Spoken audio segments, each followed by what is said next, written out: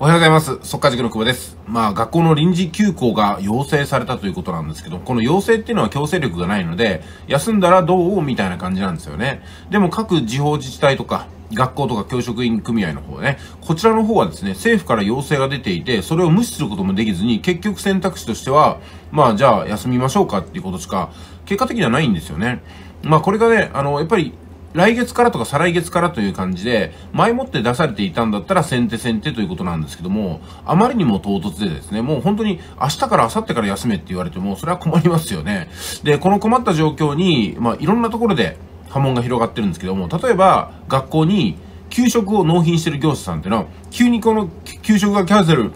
なるわけですから、本当困っちゃいますよね。それから、あの、お子さんをね、学校に預けてらっしゃる方。やっぱり学校っていうのは託児所ではないんですよ。託児所ではないんですけども、すでにその機能も、こう、社会的に持ってますからね。だからそれは、理屈で言えばそういうところではないよと、子供を預けるところではないんや、ないんだよっていうのは正論なんですけども、ただ、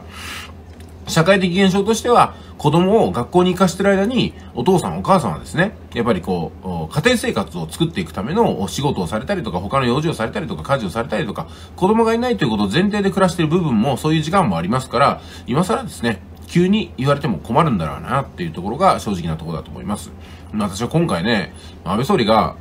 教育委員会の助言をそして専門家会議の助言をですね、差し置いて、個人的にこんなことを言い出したんだと思うんですよ。それはですね、やっぱり社会に対して、俺はやってるぜってアピールをしたかっただけなんではないかなと。いよいよ、スタンドプレイが目立つようになってきました。そして、安倍総理を抑える人が、